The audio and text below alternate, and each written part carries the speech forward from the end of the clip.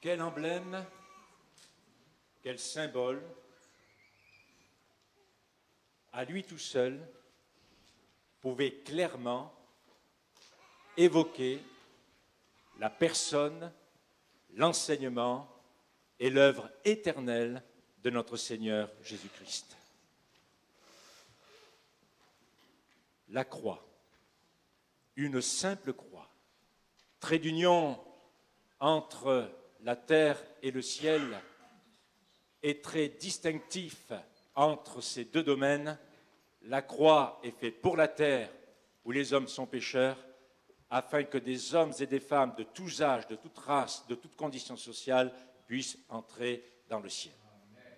Au centre de notre compréhension de la personne de Jésus-Christ, il y a pour nous non sa naissance, ni son enfance, ni sa jeunesse, non son enseignement, ni sa vie de service, non sa résurrection, ni son règne éternel et glorieux, ni le don de la personne du Saint-Esprit, mais sa mort et plus particulièrement sa mort sur une croix.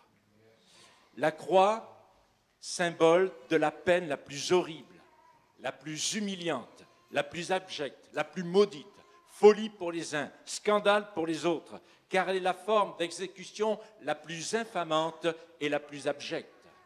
Il est absolument inconcevable que pour le juif, pour le romain, pour le musulman, pour le bouddhiste, pour l'hindouiste, pour l'humaniste, pour le philosophe, pour le religieux, que le Messie de l'humanité choisi par Dieu puisse mourir comme un criminel crucifié au bois d'une croix et ainsi placé sous la malédiction divine.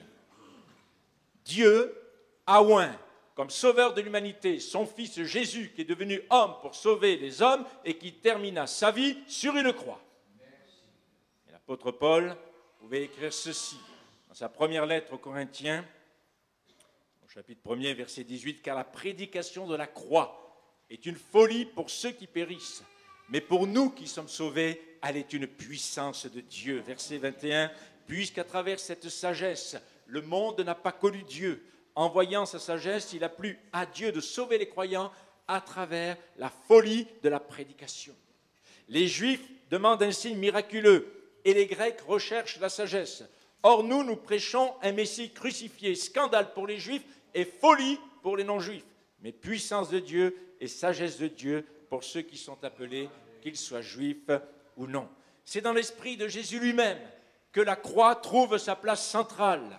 Luc chapitre 24, versets 25 à 27. Alors Jésus leur dit, Hommes sans intelligence, dans le cœur lent à croire tout ce qu'ont dit les prophètes, ne fallait-il pas que le Messie souffre ces choses et qu'il entre dans sa gloire?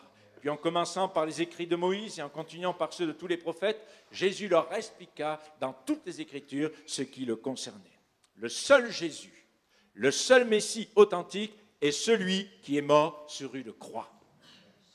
Cependant, la croix est aussi le lieu qui met en évidence le triomphe de notre Seigneur et Sauveur Jésus-Christ sur le mal, sur la loi, sur la chair, sur le monde et sur la mort, triomphe auquel sont associés toutes celles et tous ceux qui croient en Jésus-Christ, le Seigneur, le Sauveur. C'est pourquoi, lorsque le Christ crucifié, ressuscité, est au cœur de notre vie, il nous garantit l'accès à toutes ces victoires divines acquises depuis la croix. Et la première des choses, c'est que le Christ crucifié nous délivre du siècle présent. Et Paul l'écrit dans sa lettre aux Galates, au chapitre 1er, versets 3 à 5, que la grâce et la paix vous soit donnée de la part de Dieu notre Père et du Seigneur Jésus-Christ. Il s'est donné lui-même pour nos péchés, afin de nous arracher à l'actuel monde mauvais, au présent siècle mauvais, conformément à la volonté de notre Dieu et Père, à qui soit la gloire au siècle des siècles. Amen. Avant la fondation du monde, avant même que Dieu ait posé l'humain sur cette terre, Dieu s'est consulté avec lui-même, le Père, le Fils et le Saint-Esprit. Et d'avance, il a été prévu que si l'homme échouait dans sa soumission, dans son obéissance à la parole de Dieu, il a été prévu entre le Père, le Fils et le Saint-Esprit que le Fils, Dieu le Fils, donne sa vie pour sauver une humanité rebelle. Malheureusement, ce que Dieu, dans sa préscience, avait vu et prédit est arrivé. L'homme a failli, l'homme a désobéi à la parole de Dieu, le péché est entré dans le monde et avec le péché, la mort. Paul le rappelle dans Romains chapitre 5, versets 12 et 19, c'est pourquoi de même que par un seul homme, Adam, le péché est entré dans le monde, et par le péché la mort, de même la mort a atteint tous les hommes parce que tous ont péché. Verset 19, en effet, tout comme par la désobéissance d'un seul homme, Adam, beaucoup ont été rendus pécheurs, pour ne pas dire tous, beaucoup seront rendus justes par l'obéissance d'un seul, Jésus. Et le plus grand sacrifice que Jésus ait pu faire à la croix, c'est celui de l'obéissance. Il a renoncé à tout sauf à l'obéissance. Il a obéi même jusqu'à la mort sur la croix. Voilà pourquoi la mort de Jésus fut à la fois un acte librement choisi et un acte déterminé. D'une part, Jésus s'est donné, lui-même pour nos péchés librement, volontairement, pour nous pécheurs. Et d'autre part, le sacrifice de Jésus à la croix et le don de sa vie, le don de sa personne furent conformes à la volonté de Dieu. Autrement dit, le salut que Jésus nous offre est agréé, accepté par Dieu. Aucun autre sacrifice que celui de Jésus-Christ peut nous rendre favorables à Dieu. Jean 3, 16 et 17, en effet, Dieu a tant aimé le monde qu'il a donné son Fils unique, afin que quiconque croit en lui ne périsse point, mais qu'il ait la vie éternelle. Dieu, en effet, n'a pas jugé son Fils et n'a pas envoyé son Fils dans le monde pour juger le monde, mais pour que le monde soit sauvé par lui. Voilà pourquoi Jésus est venu. Bibliquement parlant, celui qui pêche, c'est celui qui meurt. En tout cas, dans Galates chapitre 1er, verset 3 à 5, nous, nous le voyons. Mais là, dans ce texte, nous avons péché et c'est Jésus qui meurt à notre place. Il est mort pour nos péchés. Il s'est substitué. Il a pris notre place. Il a été frappé à notre place. Et Jésus est mort pour nous arracher au présent siècle mauvais. Ce siècle est mauvais parce qu'il est dominé par la puissance des ténèbres, parce qu'il est dominé par le péché et la corruption et la violence et la méchanceté. Toutefois, le siècle nouveau que Jésus est venu inaugurer et le présent siècle mauvais se chevauchent. Et Jésus le dit dans Jean 17, 15 à 18, Je ne te demande pas de les retirer du monde, c'est le siècle mauvais, mais de les préserver du mal. Ils ne sont pas du monde. Nous ne sommes plus de ce siècle mauvais. Nous sommes déjà dans le royaume de Dieu. Il y a une ambassade de Dieu, une ambassade du ciel sur cette terre. Ce sont celles et ceux qui appartiennent à Jésus-Christ, qui parlent comme Jésus-Christ, qui ont la foi de Dieu, la parole de Dieu, l'esprit de Dieu. Ils ne sont pas du monde, tout comme moi je ne suis pas du monde. Consacre-les par ta vérité. Ta parole est la vérité. Tout comme tu m'as envoyé dans le monde, je les ai moi aussi envoyés dans le monde. Jésus, à la croix, nous a arrachés à ce présent siècle mauvais. Il nous a arrachés à la tradition, à la superstition, à la religion, à la colère, à la violence. Il nous a arrachés à tout cela. Et déjà, nous faisons partie du royaume des cieux. Déjà, nous faisons partie du royaume de Dieu. Déjà, nous sommes entrés dans cette gloire. Et c'est vrai que nous partageons déjà la vie du siècle à venir. En d'autres termes, cette mort nous transfère du siècle présent déjà vieilli dans le nouveau qui est à la fois là et à venir. Et c'est l'effet de la croix de Jésus-Christ, une nouvelle création. Galates 6.15, en effet, en Jésus-Christ, ce qui a de l'importance, ce n'est ni la circoncision ni l'incirconcision, mais c'est d'être une nouvelle créature. Et cette nouvelle création, c'est le corps de Christ, l'Assemblée de Dieu, l'Église. Ces nouvelles créatures, ce sont les disciples de Jésus, nés de nouveau et remplis du Saint-Esprit. L'œuvre de Christ à la croix s'accompagne dès à présent de la grâce et de la paix et pour Dieu d'une gloire éternelle. Grâce et paix, ce sont les deux besoins essentiels de l'humanité. Nous avons besoin que Dieu nous fasse grâce, c'est fait. Nous avons besoin de la paix. À toi, mon ami, de saisir cette paix ce matin en Jésus-Christ qui a dit, je vous laisse ma paix, je vous donne ma paix. Ce Christ crucifié qui nous libère du siècle présent et aussi celui qui nous délivre du pouvoir de la loi. Dans Galates 2.19, puisque c'est la loi qui m'a amené à mourir à la loi afin de vivre pour Dieu. Galates 3.11, et que nul ne soit justifié devant Dieu par la loi, cela est évident, puisqu'il est dit, le juste vivra par la foi. Les pécheurs que nous sommes sont justifiés, déclarés justes, purifiés, lavés devant Dieu, non par les œuvres de la loi, non par les œuvres d'une religion, non par des œuvres humaines, mais par la grâce de Dieu au moyen de la foi. La loi de Dieu condamne le péché et prononce une sentence de mort. Par ailleurs, le rôle de la loi divine est de nous condamner, pas de nous justifier, pas de nous sauver. La loi de Dieu dit tu ne feras pas, et il y a en moi une autre loi qui est plus forte, qui est la loi du péché, et qui fait ce que Dieu me demande de ne pas faire. La loi est là pour me montrer que je suis incapable d'obéir à Dieu. La loi est là, elle me condamne. Elle n'a pas la capacité de me transformer. Elle a simplement la capacité de me dénoncer devant Dieu comme pécheur et comme incapable. La loi de Dieu ne peut pas me donner la victoire sur moi-même, sur la chair et sur le monde. La loi de Dieu en est incapable. Nous comprenons que le monde puisse approuver la religion, surtout lorsqu'elle est très relative, superstitieuse et superstitielle, lorsqu'elle est mystérieuse. La religion, lorsqu'elle est incompréhensible. Et je comprends que l'homme, le mondain, puisse entrer dans un culte où il ne comprend pas qu'on puisse faire ce culte dans une autre langue pour que sa conscience ne soit pas bousculée, qu'il puisse quitter ce lieu en continuant de faire et de mener sa vie comme bon lui semble. Le légalisme religieux met en avant l'importance du moi. Moi, j'ai fait ceci, moi, j'ai fait cela. Le légalisme religieux met en avant l'importance de la chair, ne recherche que son plaisir et satisfaire le monde. Mais les vrais disciples de Christ ont cloué à la croix et le moi et la chair et le monde. Matthieu 5, 17. Ne croyez pas, dit Jésus, que je sois venu pour abolir la loi ou les prophètes. Je suis venu non pour abolir, mais pour accomplir. Vous et moi, nous étions incapables d'accomplir la loi de Dieu. Vous et moi, nous étions incapables d'obéir à la parole de Dieu. Mais Christ est venu. Et cette obéissance, il l'a accomplie. Et pour ceux qui croient en Jésus, ils sont au bénéfice de cette obéissance. En croyant en Christ, je crois dans celui qui a accompli la loi. Donc, par Christ, la loi est accomplie en moi.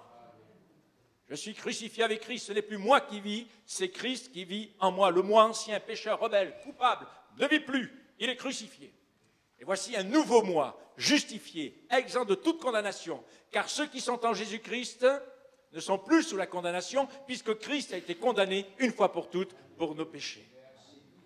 Désormais, nous vivons par la foi en Jésus-Christ, le Fils éternel de Dieu, qui s'est donné pour nous et pour lequel nous nous donnons à notre tour.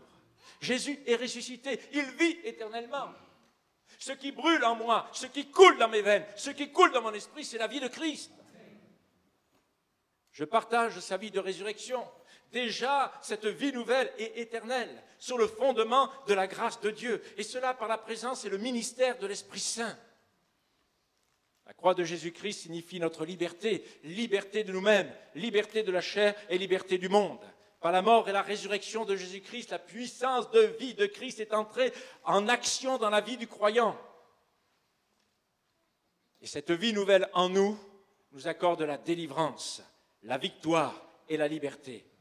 Ce n'est plus nous qui devons vivre, mais c'est Christ qui vit en nous. Quand un époux comprend cela, quelle grâce pour l'épouse. Et lorsqu'une épouse comprend cela, quelle grâce pour l'époux. Chérie, Christ vit en toi. Christ vit en toi.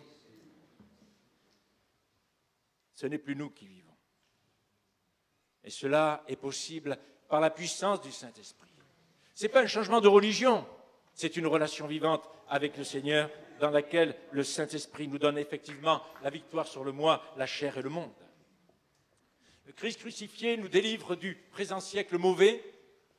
Le Christ crucifié nous délivre de la loi et le Christ crucifié nous délivre de la dictature du moi. Galate 2.20, j'ai été crucifié avec Christ, et si je vis, ce n'est plus moi qui vis, c'est Christ qui vit en moi. Si je vis maintenant dans la chair, je vis dans la foi au Fils de Dieu qui m'a aimé et qui s'est livré lui-même pour moi. Quand je sonne à l'appartement de Carlo, c'est Carlo qui m'ouvre. Mais quand l'esprit de ce monde frappe à la porte du cœur de Carlo, c'est pas Carlo qui ouvre, c'est le Christ qui est en lui. Et c'est la puissance de Dieu qui est là en lui. Nous avons été crucifiés avec Christ. Nous sommes morts au péché, à la croix, où Christ est mort pour nos péchés. Mon moi, mon ego sont en permanence sur la croix de Christ. Il doit en être ainsi. Vous avez vu des insectes épinglés. Vous croyez que pendant la nuit, l'insecte épinglé quitte l'épingle pour faire ce que bon lui semble? Non, il est épinglé. Il est épinglé à vie. Et c'est la même chose pour nous. Nous sommes, nuit et jour, 24 heures sur 24, dans les moments faciles comme dans les moments difficiles, nous sommes crucifiés avec Christ. Là, je suis enfin arrivé à la fin de moi-même. Mes ambitions personnelles, mon orgueil, mon égoïsme, ma méchanceté, où les pensées centrées sur moi ont été crucifiées à la croix de Christ. J'ai compris que je ne pouvais fuir ces réalités, car ce que j'emmenais avec moi, où que j'aille, c'est toujours mon ego, c'est toujours mon moi. Vous pouvez changer d'église, changer de religion. Vous pouvez partir à Hawaï, partir en Polynésie française, en Nouvelle-Zélande, en Nouvelle-Calédonie. Vous pouvez aller sur les plages de sable fin de l'île Maurice. Mais c'est toujours vous, c'est toujours le moi qui est là. Avec son caractère. Fait trop chaud, fait trop froid. Et la seule condition et la seule solution pour être débarrassé de ce moi hautain, de ce moi suffisant, passe par la croix de Jésus-Christ. L'orgueil est le seul moyen par lequel Satan peut m'entraîner dans l'erreur. C'est le premier péché. Et c'est le péché de Satan, c'est le péché des anges déchus et c'est le péché de l'humanité déchue. Philippiens 2, 3 et 4, ne faites rien par esprit de parti ou par vaine gloire, mais que l'humilité vous fasse regarder les autres comme étant au-dessus de vous-même, que chacun de vous, au lieu de considérer ses propres intérêts, considère aussi ceux des autres. Et Jésus lui-même, dans Matthieu 16, 24, 25, alors Jésus dit à ses disciples, si quelqu'un veut venir après moi, si quelqu'un veut être mon disciple, qu'il renonce à lui-même, qu'il se charge de sa croix et qu'il me suive. En effet, celui qui voudra sauver sa vie la perdra, mais celui qui la perdra à cause de moi la retrouvera. Première étape essentielle pour suivre Jésus, c'est de dire non à soi-même, mourir à soi-même, que le moi soit crucifié. Deuxième étape, c'est prendre sa croix. Jésus ne nous l'impose pas, pas plus qu'elle ne s'est imposée à lui. C'est librement et volontairement que Jésus a pris sa croix, sur laquelle il est mort pour nos péchés. Et c'est volontairement, librement, que nous devons chaque jour nous charger de notre croix. Et notre croix, ce n'est pas notre épouse.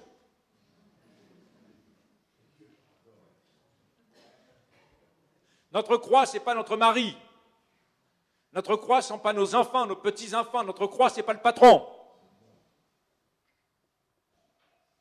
Notre croix. C'est le lieu où la volonté de Dieu croise ma propre volonté. Et à la croix, je dois me soumettre à la volonté de Dieu. Comme Jésus l'a dit dans Gethsemane, que ta volonté soit faite. Non pas ce que je veux, mais ce que tu veux, Seigneur. La croix, c'est surtout le lieu où je meurs à moi-même. La croix n'est pas une chose que je peux prendre et poser ensuite. Non, ma croix, ce n'est pas une chose dont je dispose. Dans cinq minutes, je dépose la croix. Non, non, non, non. Non. Crucifié tu es, crucifié tu restes et crucifié tu seras jusque dans la gloire éternelle. Parce que là, là, après, et encore dans le ciel, tu verras l'agneau. La croix, c'est une décision que nous prenons avec l'aide du Saint-Esprit pour suivre notre Seigneur et Sauveur Jésus-Christ et le suivre lui seul jusqu'au bout de notre pèlerinage terrestre. Nous devons mourir à nous-mêmes. Christ a donné sa vie pour que nous ayons cette vie nouvelle et la vie éternelle.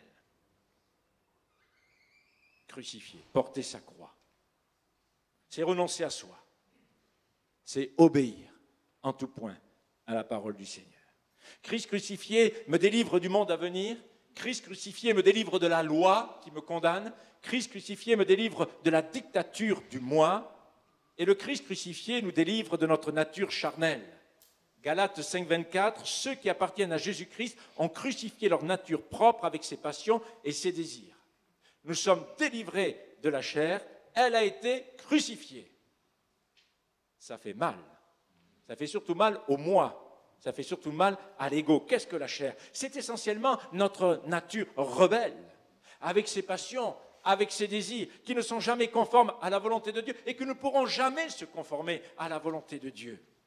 Paul le dit dans Romains chapitre 8, versets 7 et 8, car l'affection de la chair est inimitié contre Dieu, parce qu'elle ne se soumet pas à la loi de Dieu et qu'elle ne le peut même pas. Or, ceux qui vivent selon la chair ne sauraient plaire à Dieu. Le chrétien charnel ne plaît pas à Dieu. Normalement, ça c'est à la croix aussi. Parce qu'il marche selon les convoitises de la chair et des yeux, l'orgueil de la vie, la jalousie, le manque de pardon, d'amour, de service, d'humilité, l'idolâtrie, l'occultisme, la magie, la colère, la dispute, la médisance, la calomnie, l'ambition égoïste, les fausses doctrines, la division, les partis pris. Tout ça, ce sont les œuvres de la chair que nous retrouvons dans Galates chapitre 5. L'Esprit condamne ces choses. Vous ne pouvez pas faire de compromis. Vous ne pouvez pas. C'est impossible. Galates 5, 17, la chair a des désirs contraires à ceux de l'esprit. Et l'esprit en a de contraires à ceux de la chair. Ils sont opposés entre eux afin que vous ne fassiez point ce que vous voudriez. Et ça, c'est important de le comprendre. Parce qu'il y a des moments où la chair a envie de frapper, mais l'esprit de Dieu dit Qui es-tu pour frapper toi? À un moment donné, la chair a envie de répondre, mais l'esprit de Dieu ferme la bouche. Dans le monde, il y a un proverbe qui n'existe pas dans le livre des proverbes. Tourne ta langue cette fois dans la bouche avant de répondre. Ça, ce n'est pas dans le livre des proverbes de ma Bible. Mais vaut mieux que ce soit l'Esprit de Dieu qui puisse prendre le contrôle de nos pensées, le contrôle de nos paroles. Parfois, nous sommes promptes à répondre au Seigneur, pitié, compassion. Nous avons besoin. Parce qu'il y a toujours ce conflit. Il y aura toujours ce conflit. Un jour, une jeune fille est allée trouver son pasteur et lui a dit, Pasteur, depuis que j'ai donné mon cœur au Seigneur, il y a des tensions, il y a des combats. Pouvez-vous me donner une solution pour que je puisse régler une fois, pour toutes ces tensions et ces problèmes? Et le pasteur lui a dit, meurs.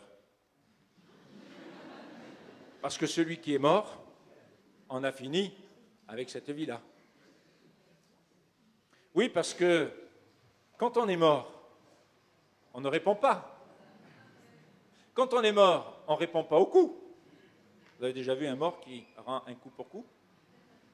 Vous pouvez crier, hurler, dire des choses à un mort. Il est mort. Mais ça ne signifie pas pour autant que la vie qui est en nous, celle de Christ, ne puisse pas s'exprimer. Parce que lorsqu'on marche sur une fleur, elle exhale son parfum. Et plus on devrait nous écraser, plus le parfum, la bonne odeur de Christ devrait pouvoir ressortir. Mais ça, il faut vraiment la puissance du Saint-Esprit. Et je le dis toujours, ceux qui ont un caractère mou, qui sont indolents, qui sont, dont Dieu leur a fait la grâce d'être, d'une, mollesse et, et d'un calme extraordinaire, il n'y a pas trop de problème. Mais par contre, ceux qui ont le sang chaud, ceux qui sont réactifs, alors là, le Saint-Esprit a du travail. Pour les autres, c'est dans l'autre sens. Il va falloir les réveiller.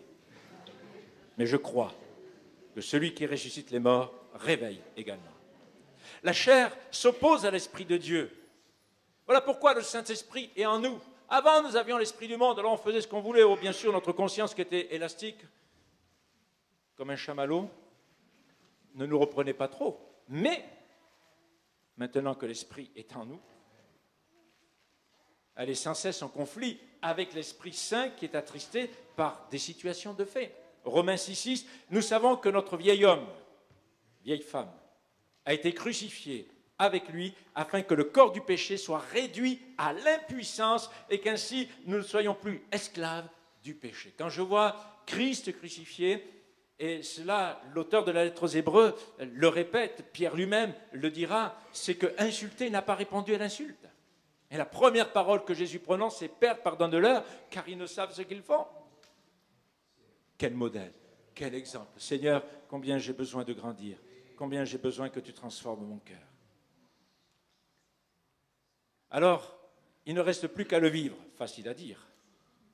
Nous sommes crucifiés avec Christ. C'est le résultat de notre union avec lui. Celui qui a été convaincu de péché a été crucifié avec Christ. C'est un fait accompli. Mais nous devons crucifier notre chair. Et ça, c'est à nous de le faire. Il y a une crucifixion qui est passive, je suis crucifié avec Christ, mais il y a une crucifixion active, je dois laisser ma chair à la croix. Et à chaque fois, je dois laisser ma chair à la croix. Hors de question que je descende de la croix, hors de question que je quitte l'autel des sacrifices, hors de question de dire que dans trois minutes, je suis plus chrétien, ça, ça n'existe pas. Notre crucifixion avec Christ nous a affranchis de la condamnation de la loi et du péché. Et puisque nous partageons la crucifixion de Christ, alors cette crucifixion-là, elle est à notre bénéfice. Nous sommes morts au péché. Mais ma chair dois la crucifier volontairement, je dois la crucifier délibérément, parce que le pouvoir de la chair, c'est à la croix, elle aussi, qu'elle doit être. Et il ne faut pas confondre notre crucifixion avec Christ, une crucifixion passive, nous sommes crucifiés avec Christ, avec notre crucifixion de la chair, une crucifixion active que j'appelle la sanctification. Tous les jours, il est nécessaire, à chaque instant, que ma chair soit crucifiée, qu'elle reste à la croix. Galates 5, 24, ceux qui appartiennent à Jésus-Christ ont crucifié leur nature propre avec ses passions et ses désirs. Pour qui Jésus revient-il Jésus revient pour ceux qui sont en lui, en Christ. Quelle est la marque de reconnaissance de ces disciples-là Ils ont crucifié la chair avec ses passions et ses désirs. Ainsi, Jésus revient pour les chrétiens, ses disciples qui ont crucifié la chair avec ses passions et ses désirs, et nous connaissons parfaitement la condition requise pour participer au retour de notre Seigneur et Sauveur Jésus-Christ, lui appartenir et avoir crucifié eh notre chair avec ses passions et ses désirs. Ça veut dire que ma culture est crucifiée. Ma race est crucifiée, que je sois blanc, que je sois noir, que je sois métis, que je sois albinos, que je sois rouge, que je sois jaune, tout cela c'est crucifié à la croix. Et même sang a coulé pour la purification de nos péchés. À la croix, il n'y a plus d'antisémitisme, de racisme. À la croix, nous sommes libres d'aimer tous les hommes de cette terre quelle que soit leur religion, quelle que soit leur idéologie, leur philosophie, quel que soit leur rang social, nous sommes capables, par l'amour de Dieu qui a été répandu dans nos cœurs par le Saint-Esprit, de pouvoir aimer comme Jésus a aimé, de pouvoir pardonner. Il nous a donné la capacité de pardonner. Nous sommes un peuple pardonné qui a reçu par Jésus-Christ le pouvoir de pardonner, comme Jésus-Christ. Christ crucifié me délivre du présent siècle mauvais Christ crucifié me délivre de la loi qui me condamne. Christ crucifié me délivre du moi, de la dictature du moi. Christ crucifié me délivre de la chair, de ses passions, de ses désirs. Et Christ crucifié nous délivre de l'esprit de ce monde. Galates 6, 14. Pour ce qui me concerne, loin de moi la pensée de me glorifier d'autre chose que de la croix de notre Seigneur Jésus-Christ, par qui le monde est crucifié pour moi, comme je le suis pour le monde. L'apôtre Paul connaissait la personne clouée à la croix. L'apôtre Paul était fasciné par la personne de Jésus-Christ. Et c'est Jésus-Christ qui rendit la croix glorieuse aux yeux de l'apôtre Paul. Les légalistes, les humanistes, les religieux, les superstitieux, les mondains, les philosophes, les idéologues, les discuteurs ne tirent pas gloire de la croix de Jésus-Christ parce qu'ils ne tirent pas gloire de la personne de Jésus-Christ. Nous ne pouvons pas dissocier la croix de Jésus-Christ de Jésus-Christ quand même. Ce qui est important, ce n'est pas la croix, mais c'est là où sur cette croix-là, Christ a donné sa vie. La croix n'est pas un morceau de bois que je peux caresser, que je peux bénir, par lequel je peux me protéger ou chasser Satan. Non. Croix où Christ est crucifié, c'est le lieu de ma délivrance. C'est le lieu de mon pardon et de ma réconciliation avec Dieu. Certaines personnes sont obsédées par elles-mêmes. Voir le nombre de temps qu'elles passent devant les miroirs. Et avant même qu'elles aient quitté leur appartement, il y a déjà eu plusieurs selfies qui sont partis dans toutes les directions. Elles ont arrosé leurs réseaux sociaux de leur moi. Alors il y a les commentaires. Ah, t'as changé de lunettes. Ah, t'as mis des paillettes dans les yeux. Obsédées par elles-mêmes. D'autres, c'est l'argent. Ils se sont même pas rasés que déjà ils sont devant leur ordinateur pour voir si les actions montaient ou descendues pendant la nuit. D'autres sont obsédés par la renommée. Ils voient le nombre de, tweets qu'ils ont eus sur leur compte. D'autres sont obsédés par leur pouvoir. L'apôtre Paul, quant à lui, n'avait qu'une seule chose devant les yeux, Christ et la croix. Dieu nous interdit de nous glorifier en quoi que ce soit, hormis la croix de Jésus-Christ. L'apôtre Paul connaissait aussi la puissance de la croix de Jésus-Christ. La venue du Messie ne faisait aucun doute pour le juif Saül de la ville de Tars. Mais la mort du Messie sur une croix maudite était complètement absurde, impensable et ne pouvait s'insérer dans la théologie juif, du juif Saül pourtant, Saül fera l'expérience de la puissance de la croix et deviendra l'apôtre Paul à cause justement de la crucifixion et de la résurrection de Jésus-Christ. Car la croix n'a pas eu raison de Jésus-Christ, mais elle a eu raison de nos péchés. C'est là toute la différence et elle est fondamentale. Et je comprends que sur le chemin qui conduisait sur la ville de Damas, Saul de Tarse était surpris d'entendre Jésus lui parler. Il croyait que la croix avait eu raison de Jésus, que le tombeau avait une fois pour toutes cloué la bouche du Messie, mais non, ni la croix, ni nos péchés, ni la mort, ni le tombeau, ni la religion, ni les gardes, ni le sceau du gouverneur, Ponce Pilate n'ont pu tenir. Il est mort, mais il est ressuscité d'entre les morts. Nous adorons pas un sauveur qui est mort, mais un sauveur qui est vivant. Voilà pourquoi Jésus, en personne, est apparu vivant à Saul de Tarse. Voilà pourquoi un jour Jésus s'est manifesté dans ma vie vivant.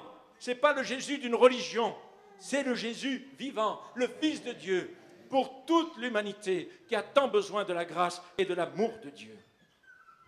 Alors il n'est pas étonnant que l'apôtre Paul ait fait du message de Jésus-Christ crucifié, ressuscité, le fondement même de la prédication. 1 Corinthiens 2.2, car je n'ai pas eu la pensée de savoir parmi vous autre chose que Jésus-Christ et Jésus-Christ crucifié. 1 Corinthiens 15, 3 et 4, je vous ai transmis avant tout le message que j'avais moi aussi reçu. Christ est mort pour nos péchés, conformément aux Écritures. Il a été enseveli, il est ressuscité le troisième jour, conformément aux Écritures.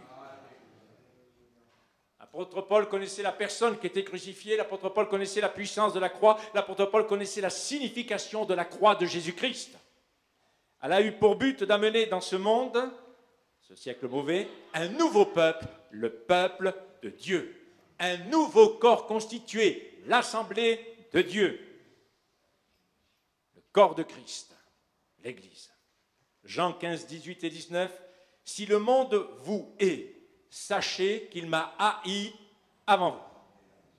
Si quelqu'un pense qu'en se tournant vers Jésus-Christ, il va acquérir pour ce monde des lettres de noblesse et qu'il sera respecté, qu'il se trompe verset 19, si vous étiez du monde, le monde aimerait ce qui est à lui.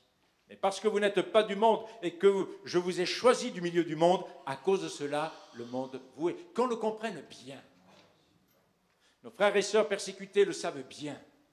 Là où la Bible est interdite, là où la prédication de la croix de Jésus-Christ est étouffée, ils savent quelle haine le monde qu'il soit séculier ou religieux, a contre le Christ crucifié. Car c'est le monde quand même qui a crucifié Jésus, le monde religieux armé et le monde politique, le monde militaire armé. Alors comment chercher dans ce monde la gloire? La gloire de ce monde qui a haï mon Seigneur et mon Sauveur. Comment chercher dans ce monde de me faire une place? Alors que ce monde a de la haine, une haine déclarée contre Jésus-Christ, contre la Bible, la parole de Dieu, contre celles et ceux qui aiment Jésus. Le monde nous méprise, le monde nous calomnie, le monde se moque de nous, comme il l'a fait pour Jésus. Mais nous aimons quand même ce monde. Nous prions pour nos ennemis et nous prions que le voile qui aveugle encore leur conscience puisse se déchirer. Comment aimer l'esprit de ce monde qui a crucifié mon Seigneur et mon Sauveur? 1 Jean de 15, n'aimez pas le monde, ni ce qui est dans le monde. Si quelqu'un aime le monde, l'amour du Père n'est pas en lui. Comment voulez-vous que je puisse aimer les principes, les puissances et les forces de ce monde? En effet, tout ce qui est dans le monde, la convoitise qui est dans l'homme, la convoitise des yeux et l'orgueil dû aux richesses, viennent non du Père mais du monde. Or le monde passe, et sa convoitise aussi, mais celui qui fait la volonté de Dieu demeure éternellement.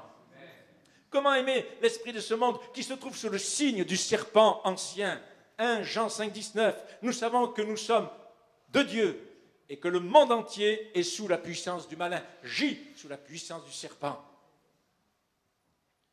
Nous pouvons être soit dans le monde, soit dans l'assemblée de Dieu, le corps de Christ, l'Église, mais on ne peut pas être dans les deux. Il faut choisir. L'un et l'autre s'excluent mutuellement. Vous ne pouvez pas rechercher la gloire du monde et être au bénéfice de la gloire de Dieu. Nous ne pouvons aimer simultanément le monde et Dieu. Un bateau qui flotte sur la mer est une image normale. Mais lorsque la mer entre dans le bateau, c'est une image anormale. L'assemblée de Dieu dans le monde, c'est normal. Mais le monde dans l'assemblée de Dieu, dans le corps de Christ, dans l'Église, c'est anormal. Lorsque la mer envahit le bateau, il coule. Merci. Il en est de même pour l'assemblée de Dieu lorsque le monde veut l'envahir. Elle finit par couler, par se diluer, et son message ne ressemble plus à rien que du compromis. Le seul remède est la croix de Jésus-Christ, appliquée de façon permanente par la personne, la présence et le ministère de l'Esprit Saint. Crucifié avec Christ, ce n'est plus nous qui vivons, mais c'est Christ qui vit en nous. Et ce que nous vivons encore dans la chair, nous le vivons par la foi au Fils de Dieu qui nous a aimés et s'est livré lui-même pour nous. C'est là notre paix, c'est là notre joie.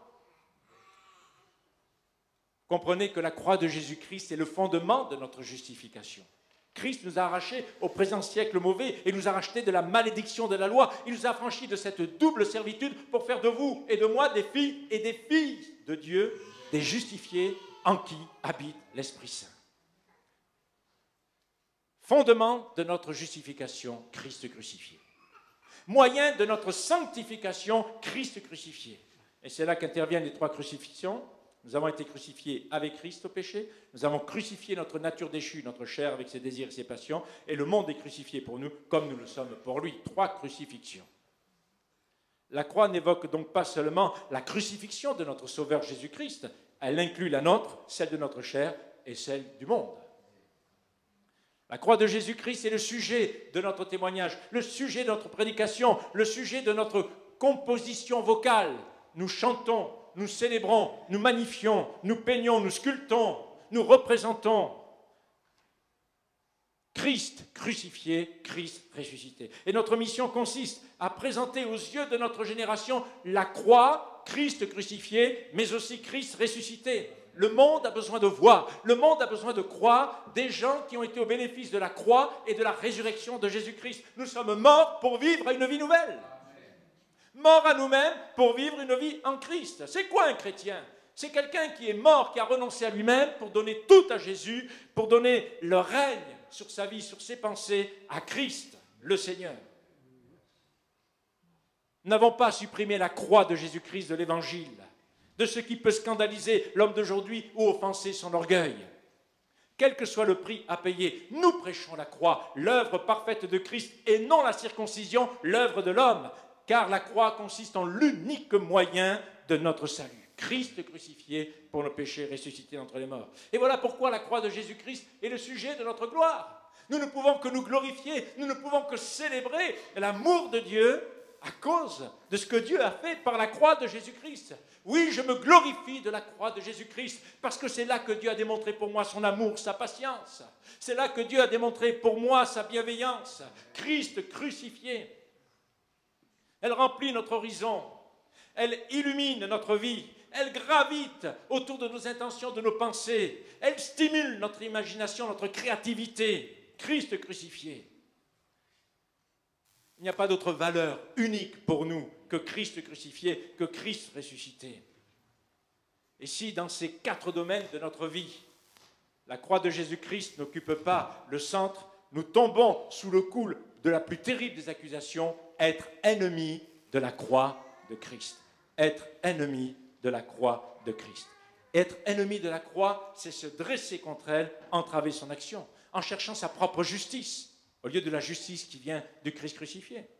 En recherchant la facilité, alors que je suis appelé à me charger de ma croix. C'est pas facile.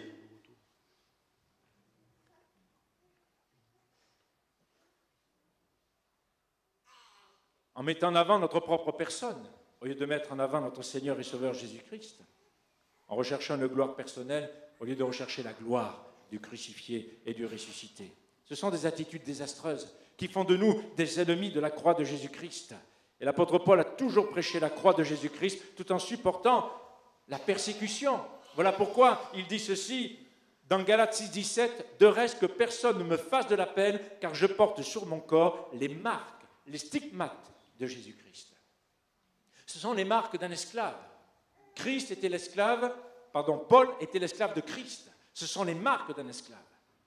Ces marques sont les blessures et les cicatrices reçues en prêchant Christ crucifié, des stigmates qui faisaient qu'un authentique esclave de Jésus-Christ le suivait. Paul a été lapidé. et laissé même pour mort. Paul a été emprisonné. Paul a connu un tas de persécutions, autant de marques. Mais parce qu'il était crucifié, il a tout supporté par l'amour et la puissance du Saint-Esprit qui était en lui. Seul celui qui est crucifié avec Christ peut parler de la croix de Jésus-Christ. Mon frère, ma soeur, es-tu crucifié? Es-tu crucifié? Toi qui as dit oui, j'espère que tout à l'heure, autour de ta table, tu continueras d'être crucifié.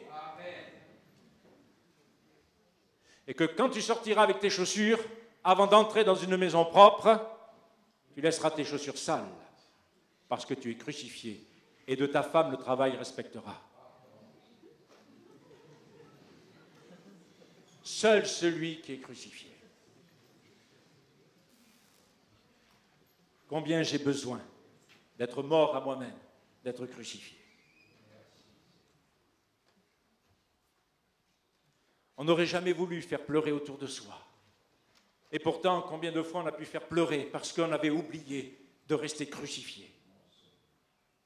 Vous savez ce que Thomas a déclaré dans Jean 20, 25 Thomas dit ceci, si je ne vois pas dans ses mains les marques des clous, je ne croirai pas. Si je ne vois pas dans ses mains les marques des clous, je ne croirai pas. Si je ne vois pas dans ses mains les marques des clous, je ne croirai pas. Ce que Thomas a dit de Jésus-Christ, le monde le dit de l'Église. Église de Jésus-Christ, montrez-moi vos marques. Si je ne vois pas vos marques, je ne croirai pas que vous appartenez à Jésus-Christ. Chaque disciple de Christ dans le monde a ce défi devant lui. Tant que je ne verrai pas les marques des clous, nous dit le monde, je ne croirai pas. Profonde vérité. Seul celui qui est crucifié avec Christ, dans lequel Christ vit, peut témoigner et prêcher de la croix de Jésus-Christ. Amen.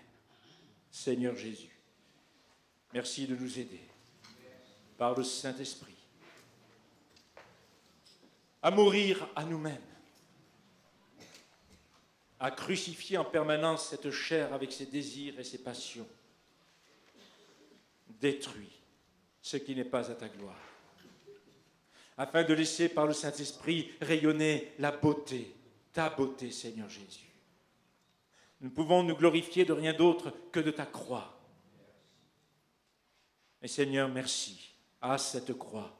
Elle me sera toujours chère. Elle est gloire et victoire. Et pour moi, parce que par elle, j'entrerai dans la maison du Père par la foi. Cette croix sur laquelle le Fils de Dieu a donné sa vie.